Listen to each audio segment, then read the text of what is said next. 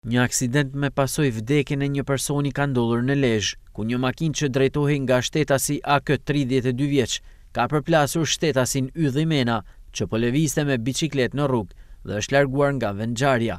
Sipas policisë, në përfundim të veprimeve hetimore, ka rezultuar se autor i dyshuar është shtetasi AK tridhjetë e dy vjeç banues në Mamurras. dhe dyshohet se e ka aksidentuar shtetasin Ylli Mena me dashje, për shkak të një konflikti të mëparshëm mes tyre. Mësohet se viktima kishte për nuse motrën e autorit dhe ishin ndarë pak kohë më parë. Kjo ka sjellë edhe konfliktin mes krushqive, sqaron policia. Shtetasi i dëmtuar Ylli Mena ka ndërruar jetë në spital ndërsa autori i dyshuar shtetasi AK është shpallur në kërkim dhe po punohet për kapjen e tij. Materialet proceduriale janë referuar pranë Prokurorisë së Rrethit Gjyqësor Lezhë për veprime të mëtejshme.